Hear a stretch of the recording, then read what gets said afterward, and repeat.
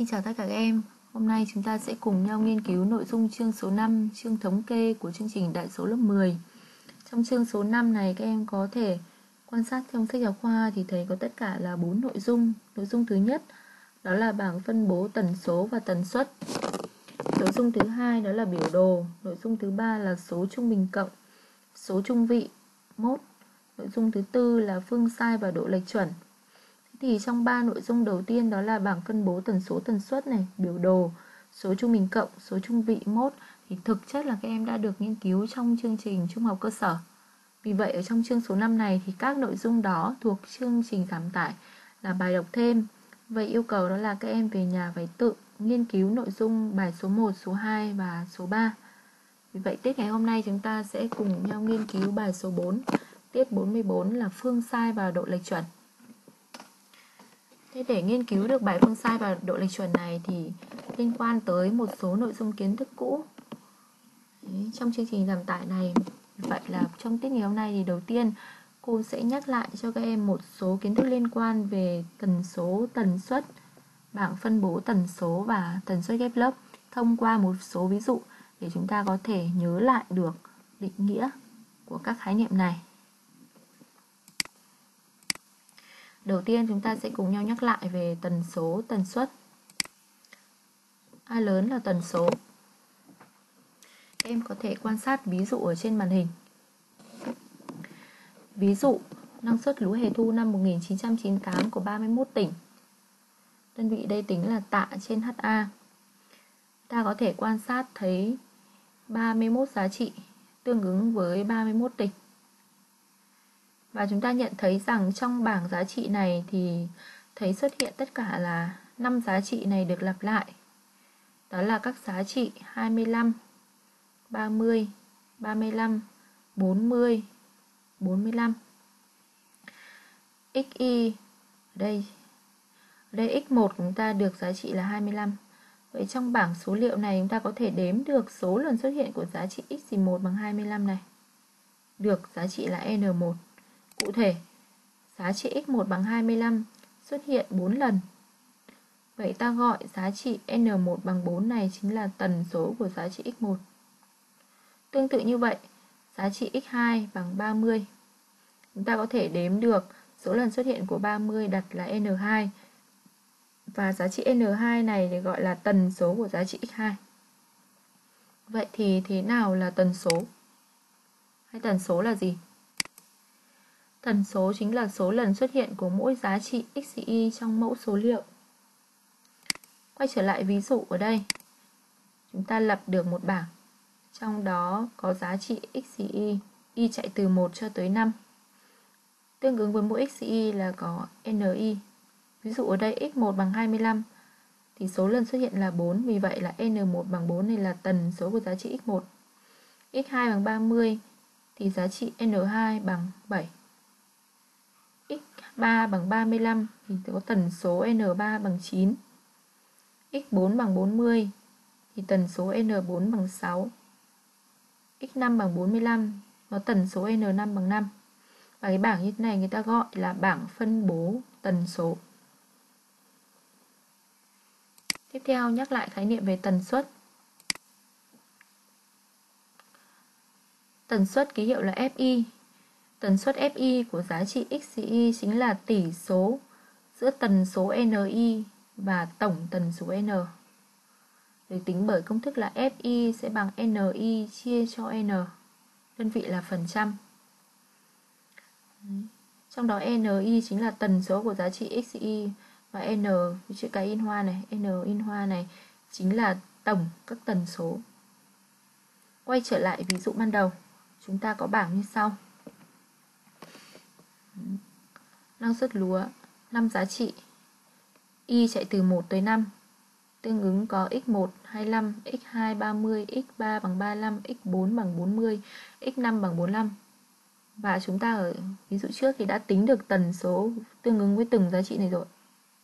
Vậy thì tổng tần số n ở đây sẽ bằng 4 cộng 7 cộng 9 cộng 6 cộng 5 bằng 31 vì vậy chúng ta sẽ tính được tần suất FI F1 ở đây sẽ bằng là 4 chia cho 31 nhân 100%. Được là 12,9%. F2 sẽ bằng 7 chia cho 31 22,6%. F3 sẽ bằng 29%, F4 bằng 19,4%, F5 bằng 16,1%. Và lưu ý là tổng tần suất ở đây của chúng ta sẽ phải bằng 100 phần trăm. Dạ. Đấy là cách tính tần suất.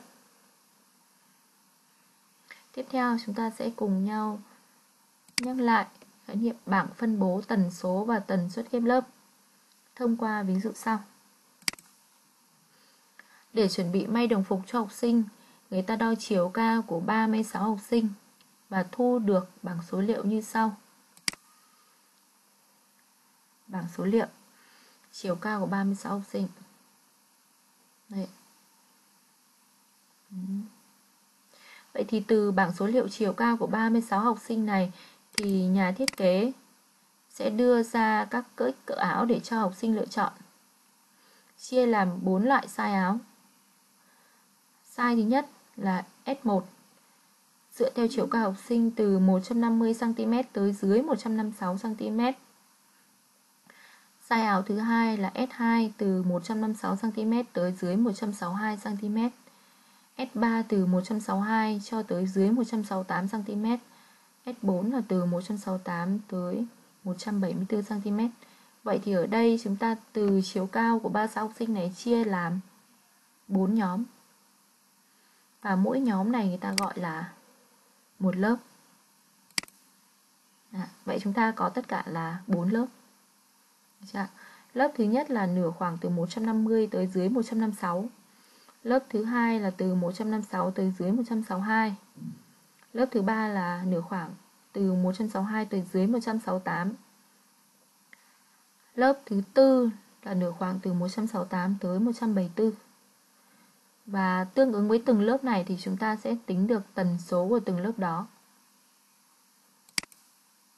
Ví dụ như ở lớp số 1 là nửa khoảng từ 150 tới dưới 156 thì là gồm những học sinh có chiều cao từ 150cm tới dưới 156cm. Vậy chúng ta có thể đếm được ở trong bảng số liệu này những bạn có chiều cao nằm trong khoảng trên. Đây ạ. Đấy. Từ 150 tới dưới 156 chúng ta có tất cả là 1, 2, 3, 4, 5, 6. Đúng ạ. Vậy thì tần số của lớp 1 N1 ở đây sẽ bằng 6 Từ N1 bằng 6 thì chúng ta tính được tần suất. Đấy. F1 sẽ bằng 16,7% Lấy N1 này chia cho 36 được 16,7% Thế là ở lớp số 1 Tương tự như vậy Đối với lớp số 2, lớp số 3, lớp số 4 chúng ta cũng tính được tần số và tần suất của từng lớp đó vào điền vào bảng như trên màn hình. Lớp 1 chúng ta vừa tính xong, lớp 2 đếm được tần số bằng 12.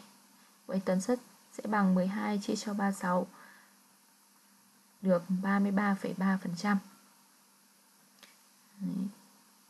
Tương tự cho lớp 3 và lớp 4 và tổng tần suất ở đây phải bằng 100%.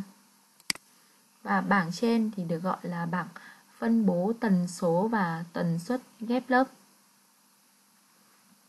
Như vậy là chúng ta vừa mới nhắc lại được các kiến thức về tần số, tần suất, bảng phân bố tần số và tần suất ghép lớp để phục vụ cho nội dung bài số 4 này. Thế còn các nội dung khác thì các em sẽ đọc thêm ở sách giáo khoa. Thế còn chúng ta sẽ cùng nhau đi vào nội dung chính của bài ngày hôm nay. Đó là tiết 44 phương sai và độ lệch chuẩn. Về tổng quát về bài số 4 phương sai và độ lệch chuẩn chúng ta gồm có hai phần lớn. Thứ nhất là phương sai, thứ hai là về độ lệch chuẩn. Trong phần phương sai thì chúng ta sẽ đưa ra được công thức trong trường hợp bảng phân bố tần số thường suất. Trường hợp thứ hai là trường hợp dữ kiện được đưa ra bởi bảng phân bố tần số và tần suất ghép lớp. Và phần thứ hai là độ lệch chuẩn. Chúng ta sẽ cùng nhau đi vào nghiên cứu phần đầu tiên là phương sai.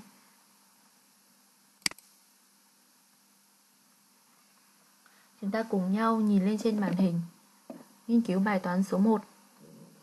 Điểm trung bình từng môn học của hai bạn học sinh An và Bình trong năm học vừa qua được cho bởi bảng sau. Có tất cả là 11 môn. Điểm của An. Toán lý hóa sinh văn sử địa tiếng Anh thể dục công nghệ giáo dục công dân. Đây là điểm của An. Tương tự đây là điểm của Bình. Yêu cầu đó là các em hãy tính điểm trung bình môn của An và Bình không kể hệ số, tức là các môn của An và Bình ở đây là đều tính bởi hệ số 1 và các em hãy nhìn vào bảng này, hãy nhận xét cho cô học lực của hai bạn thứ nhất là hãy tính điểm trung bình môn của An và Bình điểm trung bình sẽ bằng tổng điểm phẩy các môn này chia cho 11 đúng không ạ 11 môn vậy chúng ta có điểm của An trung bình ở đây trung bình cộng của các môn này 8 cộng 7,5 cộng 7,8 cộng 8,3 cộng vân vân đến 9. Tất cả chia cho 11, kết quả được 8,1.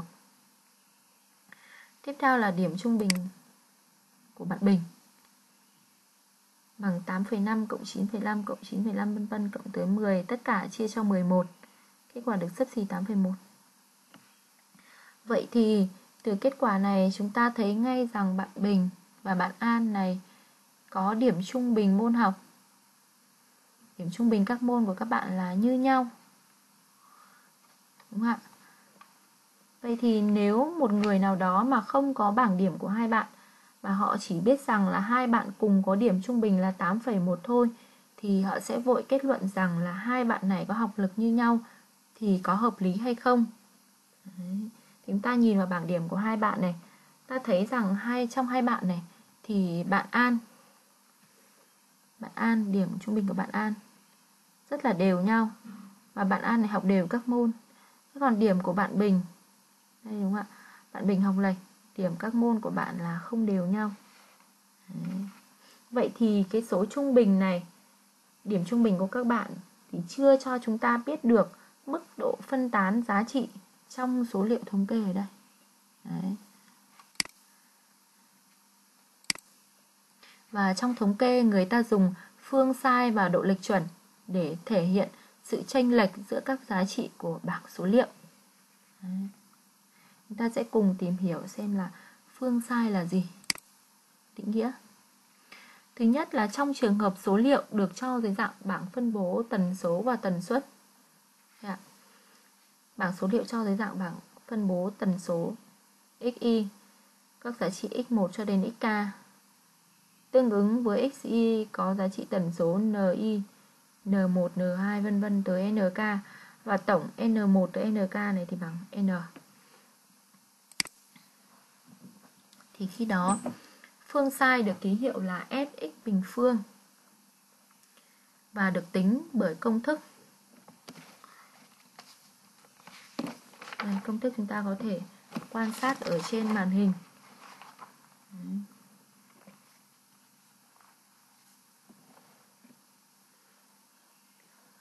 Đấy. Sx bình phương thì sẽ bằng là N1 nhân với x1 trừ x ngang bình phương. x ngang ở đây chính là x trung bình. Giá trị trung bình. Cô đọc là x ngang nhá. N1 nhân x1 trừ x ngang tất cả bình cộng với N2 nhân x2 trừ đi x ngang tất cả bình cộng vân vân tới giá trị cuối cùng. Tần số NK nhân với XK trừ đi x ngang tất cả bình phương. Tất cả chia cho N. Ở đây trong đó trong đó này NI là tần số tần số của giá trị XY, còn N ở đây chính là tổng tần số. Trong công thức này chúng ta có thể thấy này, N1 nhân x1 trừ x ngang tất cả bình này, N2 này nhân x2 trừ đi x ngang tất cả bình phương vân vân. NK nhân xk trừ đi x ngang tất cả bình phương này chính là bình phương các độ lệch. Đây chính là bình phương các độ lệch. Đúng nhỉ? Sau đó tính tổng bình phương các độ lệch này rồi chia trung bình n. Vậy thì công thức này phương sai chính bằng tổng bình phương của các độ lệch chia trung bình. Yeah. Bình phương các độ lệch và tính trung bình cộng của chúng. từ định nghĩa trên thì chúng ta sẽ tính được bởi công thức khi mà không phải cho bởi bảng tần số nữa mà cho bởi tần suất Sx bình phương chúng ta có thể để ý trên công thức số 1 này N1 chia cho N thì sẽ được là F1 tần suất F1 N2 chia cho N sẽ được F2 vân vân NK chia cho N thì sẽ được FK tần số, tần suất của giá trị FK các biểu thức bình phương này giữ nguyên. Vậy thì từ công thức số 1 này chúng ta sẽ rút gọn được công thức khi mà bảng cho dưới dạng là phân bố tần suất. Thì Sx bình phương sẽ bằng là F1 nhân với x1 trừ đi ngang tất cả bình cộng F2 nhân với x2 trừ đi x ngang tất cả bình phương cộng với vân vân cho tới Fk nhân với xk trừ đi x ngang tất cả bình phương. Vậy chúng ta có thể tính bởi hai công thức. Chà. Trong đó F1, F2 vân vân cho tới Fk này chính là tần suất của các giá trị x1 cho tới xk. x ngang là giá trị trung bình. Vậy chúng ta sẽ cùng nhau cụ thể công thức này bởi một ví dụ sau. Một cửa hàng bán gạo, thống kê số cân gạo mà cửa hàng bán được mỗi ngày. Trong 30 ngày được cho bởi bảng phân bố tần số như sau.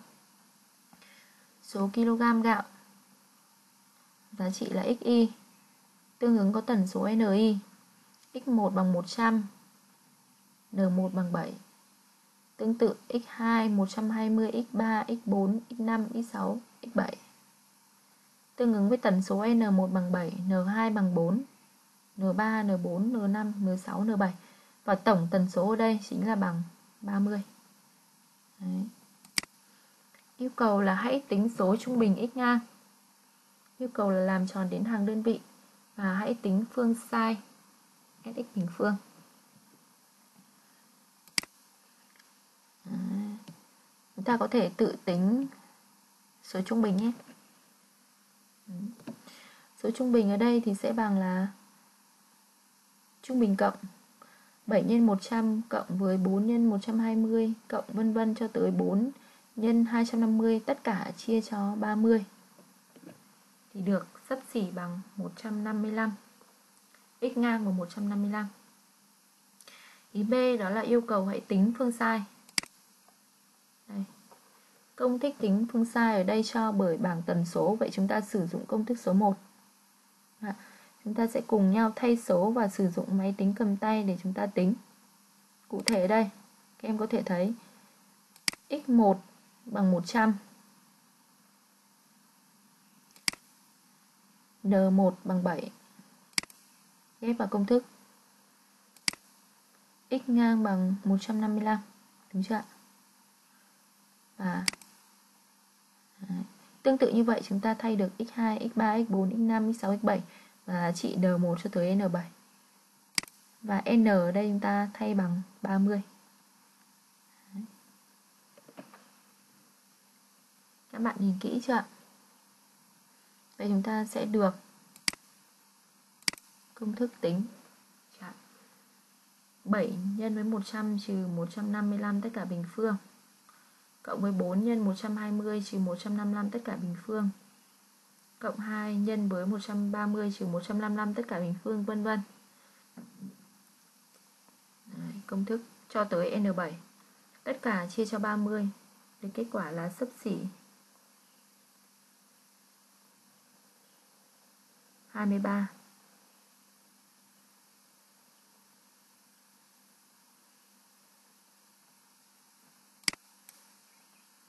Vậy thì hãy cho biết đơn vị của phương sai trong trường hợp này là gì? Các em nhận thấy rằng đơn vị ở đây chúng ta tính là kg, vậy thì đơn vị của phương sai trong trường hợp này chính là kg bình phương. Chỗ này SX là sấp xỉ 20.318. Trường hợp thứ hai chúng ta cùng nhau chuyển sang đó là dữ kiện được cho bởi bảng tần số và tần suất kép lớp. Đây chính là lý do vì sao mà đầu bài thì cô đã cho em nhắc lại về bảng tần số, tần suất ghép lớp. Đấy. Ở đây chúng ta có tất cả là k lớp. Tương ứng với k lớp này thì sẽ có tần số ghép lớp từ N1 cho tới NK và tổng tần số là N. Vậy thì chúng ta sẽ thu được công thức tính phương sai, tính bởi công thức Sx bình phương sẽ bằng bình phương các độ lệch và tính trung bình cộng của chúng. Thế nhưng mà khác ở với công thức số 1 vừa rồi. Đó là chúng ta thấy xuất hiện C1, C2 vân vân cho tới CK. Vậy thì C1, C2 cho tới CK này là gì? Đấy. Thì các giá trị CI này chính là giá trị đại diện của lớp Y. Tức là trung bình cộng của hai mút của lớp. Ví dụ C1 ở đây chính là giá trị đại diện của lớp 1 chính là bằng trung bình cộng của A1 cộng B1 tất cả chia 2. C2 chính là giá trị đại diện của lớp thứ hai, nó sẽ bằng trung bình cộng của A2 và B2 sẽ bằng là A2 cộng B2 tất cả chia 2. Vân vân. CK sẽ bằng AK cộng với BK tất cả chia 2. Hoàn toàn dùng công thức số 1 chỉ thay giá trị ở đây là giá trị đại diện Ừ. từ công thức này chúng ta có thể suy ra công thức tính theo tần suất ghép lớp. N1 chia cho N được F1 N2 chia cho N thì được F2 NK chia cho N thì được FK Vậy chúng ta có thể tính được phương sai theo công thức là F1 nhân với C1 trừ đi ngang tất cả bình phương cộng F2 nhân C2 trừ đi ngang tất cả bình, vân vân cộng tới FK nhân với CK trừ x ngang tất cả bình phương. Trong đó F1, F2 vân vân FK chính là tần suất của lớp. C1, C2 vân vân cho tới CK chính là giá trị đại diện của lớp đó. X ngang chính là giá trị trung bình. Chúng ta cùng nhau làm ví dụ tiếp theo. Nhiệt độ trung bình 12 tháng tại thành phố Vinh từ năm 1961 đến năm 1990, 30 năm, được cho bảng tần suất kép lớp như sau. Chia làm 4 lớp. Lớp thứ nhất là nhiệt độ từ 15 cho tới dưới 17 độ C. Lớp thứ hai là nhiệt độ từ 17 cho tới dưới 19 độ C. Lớp thứ ba từ 19 cho tới 21 độ C. Lớp thứ tư là từ 21 cho tới 23 độ C. Tương ứng với từng lớp này chúng ta sẽ tính được tần suất. Bảng dữ kiện người ta cho tần suất rồi. Biết rằng giá trị trung bình là 19, yêu cầu là tính phương sai SX bình phương. Công thức tính SX bình phương ạ. Dựa vào công thức chúng ta vừa nêu được cho bởi bảng tần suất ghép lớp ạ. Thế ở đây công thức cô giáo hiện ở trên màn hình này chính là tính dựa theo tần số. Vậy thì ở đây người ta cho tần suất kép lớp thì chúng ta sẽ phải sử dụng công thức số 2. Sx bình phương sẽ bằng F1 nhân với C1 trừ x ngang tất cả bình cộng F2 nhân C2 trừ x ngang tất cả bình cộng vân vân. Tới FK nhân CK trừ x ngang tất cả bình phương. Ở đây chúng ta có tất cả là 4 lớp. Vậy thì F1 sẽ bằng 16,7. Đúng không ạ? C1 thì sẽ là giá trị trung bình của hai mút của lớp đó. C1 sẽ bằng 16 thay số x ngang đầu bài cho bằng 19 F2 thay bằng 43,3 C2 là giá trị đại diện của lớp thứ hai chính là 18 trừ đi 19 x ngang này tất cả bình phương cộng với F3 bằng 36,7 nhân với C3 trừ đi x ngang C3 bằng 20 x ngang bằng 19 tất cả bình cộng với F4 ở đây là 3,3 nhân với 22 trừ đi 19 tất cả bình phương. Đây, các em có thể quan sát. Đúng không ạ? 16,7 chia 100. Nhớ ở đây cho cô giáo là tần suất được tính 10 đơn vị phần trăm nên khi chia ở đây chúng ta phải lấy 16,7 chia cho 100 nhân với 16 trừ 9 tất cả bình cộng với 43,3 phần trăm nhá. Đơn vị tần suất là phần trăm. Nhân với 18 trừ đi 19 tất cả bình phương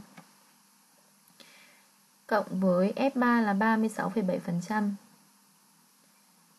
chia cho à, nhân với 20 trừ đi 19 tất cả bình. Kết quả được 2,6 Đấy. Các em sử dụng máy tính cầm tay để tính.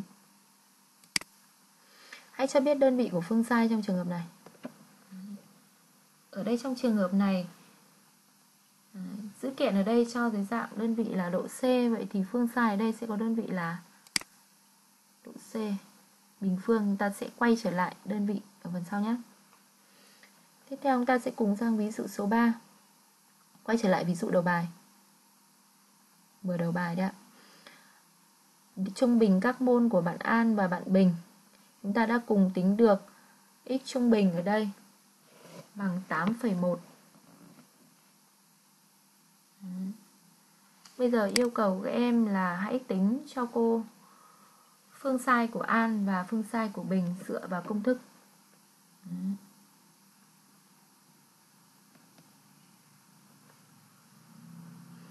Vận dụng công thức nha, chúng ta sẽ tính được phương sai của An sẽ sấp xỉ 0,309 và phương sai của Bình ở đây sấp xỉ là 2,764. Vậy thì từ đây chúng ta thấy rằng được phương sai của bạn An nhỏ hơn bạn Bình. Vậy thì khi hai dãy số liệu thống kê ở đây có cùng đơn vị đo và có số trung bình cộng bằng nhau hoặc là sấp xỉ bằng nhau. Ở đây trung bình cộng của hai bạn cùng là 8,1 thì nếu phương sai càng nhỏ thì mức độ phân tán so với số trung bình cộng của các số liệu thống kê thì càng bé. Tức là phương sai của bạn An nhỏ hơn phương sai của bạn Bình. Vậy thì mức độ phân tán điểm của bạn An này so với số trung bình cộng 8,1 này càng nhỏ. Vì vậy là ta có thể kết luận được bạn An ở đây là học đều hơn bạn Bình. Được chưa? Đấy, đây chính là ý nghĩa của phương sai. Quay trở lại đơn vị trong ví dụ 2 và ví dụ 3 vừa rồi. Thì phương sai khi năng suất tạ lúa hệ thu đã phương sai ở đây là sấp xỉ 2318 km à, kg bình phương. Thế còn phương sai trong bảng nhiệt độ đã là sấp xỉ 2,6 độ C bình phương. Thế thì hai đơn vị này thì có phù hợp với thực tế hay không? Đấy. Trong thực tế chúng ta chỉ có đơn vị là kg và độ C thôi. Vậy thì làm thế nào để nó mất được cái bình phương này? Thì chúng ta sẽ nghĩ cách là mất bình phương chúng ta phải gì ạ? Lấy căn. Đúng không ạ? Vậy chúng ta sẽ cùng nhau Đấy. làm sao để không còn bình phương nữa thì chúng ta sẽ nghĩ đến việc là lấy căn này. Vậy chúng ta sẽ cùng nhau sang phần thứ hai, đó là về độ lệch chuẩn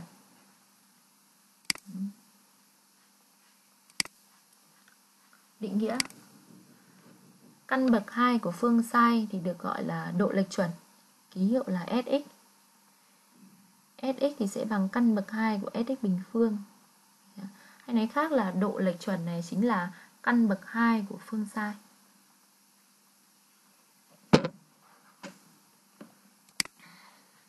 Ví dụ Phương sai của bạn A là sấp xỉ 3,09 Từ đây suy ra được độ lệch chuẩn Sẽ bằng căn bậc 2 của phương sai.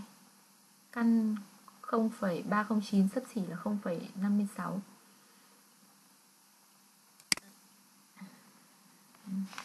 Tương tự như vậy Phương sai của bạn Bình sấp xỉ là 2,764 Suy ra được độ lệch chuẩn là căn bậc 2 của phương sai sấp xỉ là 1,66. Ở đây chúng ta có thể nói rằng là phương sai S bình phương và độ lệch chuẩn S này đều được dùng để đánh giá mức độ phân tán của các số liệu thống kê so với số trung bình cộng. Nhưng ở đây khi cần chú ý đến đơn vị đo, khi cần chú ý đến đơn vị đo thì chúng ta sẽ dùng S. Và vì là S ở đây sẽ cùng đơn vị đo với dấu hiệu được nghiên cứu đúng không ạ Đấy. ví dụ như ở đây Đấy. Nhớ nhá, phương sai S bình phương và độ lệch chuẩn S thì đều được dùng để đánh giá mức độ phân tán của các số liệu thống kê so với số liệu trung bình. Nhưng mà khi cần chú ý đến đơn vị đo thì ta dùng S. Vì S cùng đơn vị đo với dấu hiệu được nghiên cứu. Ví dụ như vừa rồi, chúng ta nghiên cứu ở ví dụ đây ạ. SX ở đây sắp xỉ bằng 2318 kg bình phương. Vậy thì khi lấy S ra, khi lấy căn bậc 2 ra thì S ở đây chúng ta sẽ có đơn vị là kg. Nó sẽ cùng đơn vị đo với số liệu được thống kê.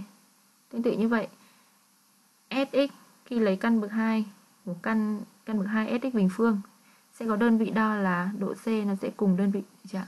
và đơn vị sau khi được lấy căn này thì phù hợp với thực tế. Đấy là toàn bộ nội dung của bài ngày hôm nay. Chúng ta sẽ cùng nhìn lại công thức. Ví dụ Vậy thì trong bài học ngày hôm nay chúng ta cần nhớ những gì cho cô ạ? Thứ nhất là phương sai hai công thức. Thứ nhất là công thức cho bởi trường hợp là bảng phân bố tần số, tần suất. Đó. Trường hợp thứ hai là trường hợp bảng phân bố tần số, tần suất ghép lớp. Được chưa? Và ngoài hai công thức trên thì các nhà toán học còn chứng minh được phương sai còn được tính bởi các công thức như trên. Đấy, các em có thể đọc tham khảo thêm. Và nội dung kiến thức lớn thứ hai đó là độ lệch chuẩn. Độ lệch chuẩn chúng ta chỉ cần nhớ đó là căn bậc 2 của phương sai. Và phương sai và độ lệch chuẩn thì đều được dùng để đánh giá mức độ phân tán của các số liệu thống kê so với số trung bình cộng. Đại lượng nào cũng được, tuy nhiên nếu cần đến đơn vị đo thì chúng ta sẽ tính độ lệch chuẩn. Đấy nhá. Thế thì nhiệm vụ của các học tập của các em sau khi học xong tiết số 44 này đó là hãy làm cho cô bài tập 1, 2, 3 sách giáo khoa trang 128 Bài tập về nhà 123 sách giáo khoa trang 128 và đọc thêm cho cô bài số 1, bài số 2, bài số 3 như đầu tiết cô đã giới thiệu. Trên đây là toàn bộ bài giảng tiết số 44, phương sai và độ lệch chuẩn. Các em nhớ về nhà làm bài tập đầy đủ và chúng ta sẽ tiếp tục ở buổi học tiếp theo. Xin chào tất cả các em.